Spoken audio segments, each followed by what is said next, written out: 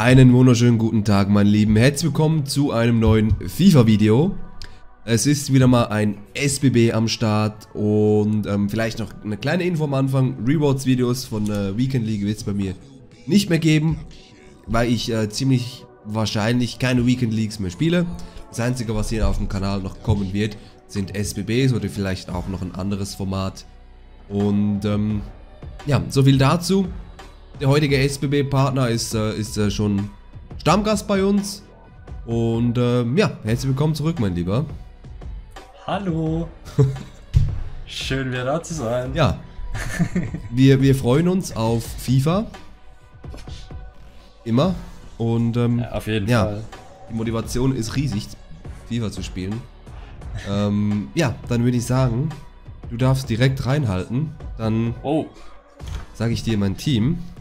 Ja, dann sag mal. Wenn ich es aufgemacht ich habe. bin echt gespannt. Entschuldigt noch wegen der Facecam, ich habe sie umpositioniert. Wenn ich jetzt hier auf dem Bildschirm schaue, sieht man schon fast meinen Hinterkopf. ähm, so, also du hast Stürmer aufgeschrieben und rechtes Mittelfeld. Ja, du kannst vielleicht erstmal sagen, welchen Spieler es überhaupt geht. ja, stimmt. Ja, ja gut, das sieht man, ja. ja, hoppala. Äh, es geht ja um die End of an Era Karte von äh, Fernando Torres. Äh, ich habe zwei Spiele, zwei Tore auf ihm, aber ich finde ihn scheiße. Ja, ich auch. aber sieht halt trotzdem geil aus, die Karte. Definitiv, vielleicht, vielleicht beweist es sich ja heute. Tja, vielleicht ändert er meine Meinung heute und ich spiele trotzdem noch Weekend League mit ihm vielleicht. Nee, äh, Lacazette wird immer in meinem Herzen bleiben. Also, ich fange dann an mit dem Stürmer. Hau raus. Da, Hau raus. da muss ich dich direkt das fragen. Hast du da eine Icon aufgeschrieben? Nö. Gut, weil ich habe im Sturm eine Icon. Butragenio. Butragueno, Baby. Ach, war ich so kurz davor. Ähm, ich habe den noch nie gespielt, aber bin gespannt, wie er ist. Und im rechten Mittelfeld bin ich in die La Liga Santander gegangen. Da habe ich eine Foot Birthday Karte von Quincy Promes. Ja, schön. Schön für dich. Ja. Die darfst, äh, darfst du behalten auf jeden Fall. Das freut mich. Ich war ganz, ganz kurz davor, Butragenio aufzuschreiben. Ich hatte ihn eigentlich schon fast hingeschrieben, aber habe mich dann doch entschieden, David Villa aufzuschreiben. Ich weiß nicht, ob du die Karte hast. Nee. Diese Flashback-Karte. Ich wollte einfach auf Nummer sicher gehen. Rechts habe ich Suso aufgeschrieben. Suso hätte ich den sogar fast genommen, aber ich habe den, ja. den Tots halt nicht. Ja. Ja, aber dann, gut, hat ja auch Headliner und so weiter, also hat schon Ja, aber der sah mir, ich brauche auf den Flügeln Pace. Das hat Suso nicht. Das stimmt, ja. Ich bin Only Pace-Spieler. der Klassiker. so, dann gut. bin ich schon am Reinhalten. Alles klar, dann starte ich im Sturm und habe dort ich weiß nicht, ob du einen Spanier oder eine Icon aufgeschrieben hast, aber ich habe einen Spieler aus dem gleichen Verein wie Torres. Mhm. Hast du wahrscheinlich. Maybe. ich habe Ibabo aufgeschrieben, äh, genommen. Und auf der linken Seite LM ist bei mir Koke Scream. Okay. Ich habe einen getroffen. Ach, Ibabo. Nee, Koke. Echt jetzt? Ja, ich habe Koke aufgeschrieben. Was? Ich habe jetzt einfach mal spekuliert, dass du die Scream-Karte hast von dem. Äh, ich hab's ja nicht, kann ich dir ja schon mal sagen.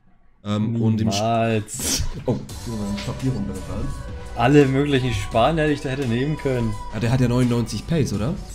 Ja. Oh, ja. Und im ja, Sturm habe ich David Villa aufgeschrieben.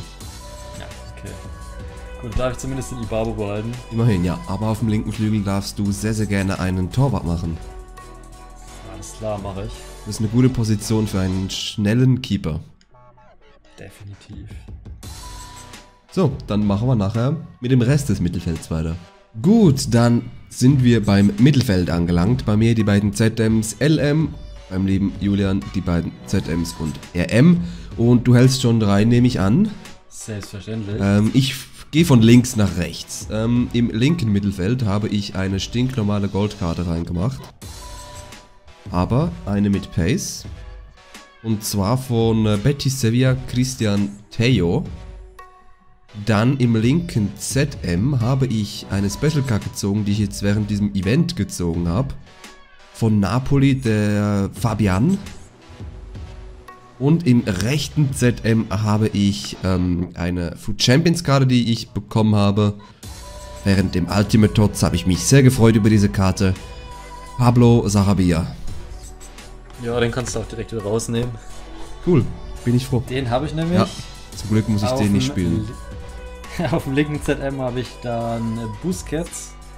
Ich gedacht, du spielst vielleicht diese Scream-Karte mit 99 Pace. Ja, war mir zu teuer.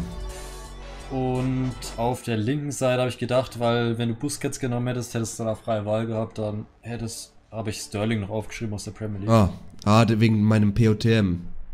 genau. Habe ich nicht mehr. Schade. Hätte er sein Ich nehme an, ich bin, also ich bin schon Torwart am Suchen. Bin ich richtig, oder? Ja, genau. Für die ZM-Position Torwart ist immer sehr, sehr gut, denke ich mal. Schön, freue ich mich. Haben die überhaupt ja, einen? gut, dann. Bestimmt. So, soll ich schon mal reinstellen? ja, ich äh, halt rein. Ich war noch ein Torwart am Suchen. So, ähm, ja, ich halt rein. Gut, also ich fange mal äh, auf dem linken ZM an. Dort habe ich eine Karte, die du auch verwendest. Und zwar Fabian von Neapel in der TOTS-Version. Dann auf dem rechten ZM habe ich einen Spieler von Juventus Turin und zwar Future Star Bentancur. Und dadurch brauche ich natürlich einen rechten Mittelfeldspieler von Juventus und der muss gleichzeitig noch Kolumbianer sein und der kommt da in Frage. Natürlich nur der gute Juan Cuadrado Champions League. Ja, ähm. Als du gesagt hast, du hast eine Karte, die ich auch habe, war ich schon am Verzweifeln, weil ich an Sarabia gedacht habe und den habe ich nicht aufgeschrieben. Bis du Fabian gesagt hast, da habe ich gemerkt, der steht auf meinem Zettel drauf. Ach nö. Dann habe ich noch Rodri aufgeschrieben und ja, den Quadrado ebenfalls, weil ja, viele andere Kolumbianer kamen da nicht in Frage, außer James in Form, aber mit 70 Pace auf dem Flügel nehme ich nicht an, dass du dir das antust. Ach man. ich wollte sogar erst Rames nehmen. Ja, dann würde ich sagen, gesniped. Ah, Piu, piu. Mann. Ja, Ach Gott. läuft. Ja, habe ich ein schönes Mittelfeld auf jeden Fall mit drei Bronzespielern. Das ist sicher geil, ja. Kann ich, äh, kann man eigentlich direkt zum Abstoßen kommen. Können wir auch machen. ich stoß. Torres freiwillig ab. Nee. Ähm, ja, dann bereiten wir uns mal die Außenverteidiger vor. Alles klar, dann kommen wir zu den Außenverteidigern und du hältst deine Tafel schon rein, nehme ich an. Ja, ist drin. Also ich mache zuerst den linken Verteidiger, weil den wirst du zu 100% nicht haben. Das ist äh, wieder eine normale Goldkarte. Äh, Patrick van Arnold habe ich da genommen. oh Gott. Die habe ich mir gerade noch angeschaut. Und rechts, ja, gab es nicht viele Möglichkeiten. Entweder Jesus Navas, ich nehme an, du hast den aufgeschrieben, oder? Vielleicht. Oder einen Holländer. Und ich habe mich für einen Holländer entschieden. Nicht Dumfries, sondern TT. Ja, schön, darfst du beide behalten. Sehr schön. Ich habe äh, links äh, einfach mal irgendwas aufgeschrieben, habe Telles aufgeschrieben und rechts, ja, wie du gesagt hast, Jesus Navas. Gut, Sehr schön. dann Dann halte ich darfst du die mal. beide behalten. Dann halte ich mal Ich- rein. Hau meine Spieler rein und ich glaube, du wirst jetzt wieder einen wegschneiden, wenn nicht sogar beide. Glaube ich nicht. Weil ich heute einfach mal mit einem Bronzeteam spielen wollte, dachte ich mir. Von daher habe ich rechts Joao Cancelo und links Europa League Man of the Match Lato. Ja. Nee, darfst du beide behalten. Oh, Gott sei Dank. Äh, Wenigstens war es ein Lichtblick. ich war gnädig. Sagen wir es so. Ich, äh, ich habe links aufgeschrieben Gaia, Tots. Vielleicht hättest du den ja gehabt. Nee, Und rechts war mir, Cancelo war mir einfach zu offensichtlich. Da habe ich Calabria Future Star aufgeschrieben. Ja, okay. Das ist natürlich blöd. Gut, Tja. dann kommen wir dann nachher zu den Verteidigern. Auf geht's. Gut, dann der letzte Teil des Squad-Bildens. Innenverteidiger und Torwart. Ähm, da ich mir ziemlich sicher bin, dass du alles aufgeschrieben hast. Ja, ich meine, es war offensichtlich, was ich gehen muss. Ich meine, du hast sicher Van Dijk aufgeschrieben. Mhm. Ja, den habe ich nämlich. Dann hätte ich noch Nathan Ake. Okay. Und äh, im Tor die FIFA 18 Legende Asmir Begovic. Ah. Ja, Asmir Begovic darfst du behalten. Die anderen aber zwei nicht, ne? Die anderen zwei können raus. Das war ganz schlecht gebaut. Boah, der arme Van Dijk. Im Tor habe ich Lori aufgeschrieben. Okay, ne, der Begovic, das ist so FIFA 18 Legende nochmal auspacken. Wobei der dieses Jahr habe ich fast noch gar nichts gesehen dieses Jahr. Ja, jetzt brauchst du einen Fußtrade ja auch nicht mehr. Ja, das ist belastend. Bronze So, in- dann haben wir auf jeden Fall beide schon mal schön viel Bronzespiele am Start. Ja, Jetzt hoffe ich nur, dass ich meine behalten darf. das hoffe ich nicht. Hältst du schon rein? Ich halt schon rein. Gut, dann fange ich mal an. Linker Innenverteidiger. Ich kann es ja jetzt an der Stelle sagen, ich habe elf verschiedene Spezialkarten in meinem Team verwendet. Oh. Okay. Von denen jetzt leider drei Bronze sind, aber. also kein 11, 11 Different Color Squad mehr am Start, sondern nur noch 8, wenn es gut läuft. Ich habe Man of the Match Ramos in der Innenverteidigung. Daneben habe ich eine Prime Icon und zwar Fernando Hierro. Und im Tor den normal goldenen Thibaut Courtois. Alles klar. Äh, ja. Okay. Schön. Äh, ich bin in der Serie A geblieben. Ich habe aufgeschrieben Kulibali, Chiellini, Donnarumma. Balle habe ich tatsächlich kurz überlegt. Und Ich- ja, dann freue ich mich auf dieses Spiel. Ich auch, weil meine Abwehr steht jetzt zumindest. Ja, meine nicht. ja, Ja, dann schauen wir wird mal. lustig. Dann äh, würde ich sagen, starten wir dann das Spiel schon machen. Oh, Ibabo! Oh, fuck ey. Ibabo hat auch keine 4-Sterne-Skills mehr. Hat- Bin verloren. Wir haben richtig schlecht die Teams gebaut, so wie es aussieht. Das sah voll geil aus, mein Team, bis du mit drei Bronzespielern rein. ja, meins sah auch nice aus. Vor allem die Verteidigung.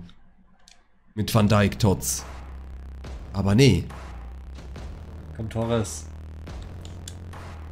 Ibabo! Oh. Jawohl, also doch! ja, meine Let's Innenverteidiger, go. die sind halt. Die sind so lost. Sau stark. Er da, wie in alten Zeiten. Begovic auch. War auch ein bisschen lost. Außer heute. Heute machen wir eine Ausnahme. So, Promes, komm. Ja, Ja, moin. Courtois, bester Keeper. das ist mein Hasskeeper Nummer 1 in diesem Spiel. Der Typ hier ist ein... Ja, meine Bronzespieler sind sau stark. Der Fab Fabian ist... Oh, Achtung. Er hat jetzt dann nach diesen Tricks keine Ausdauer mehr.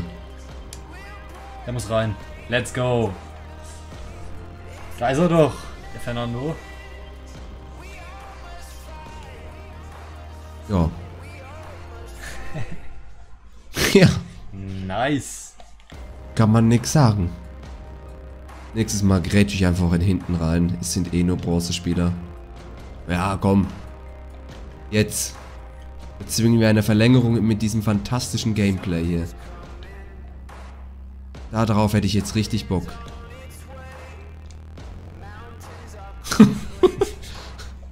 ja, Ansage. läuft. Da hat das Spiel meine Ironie nicht wahrgenommen. Alter. Huch! Jawohl! Die, berühmt, Let's die go. berühmten Nachspielzeittore. Was für ein Strahl. Okay, der nächste Viktor. Aber auch direkt einen Scheiße, ey, du. Puh, da muss ich wieder Teampressing machen, ey.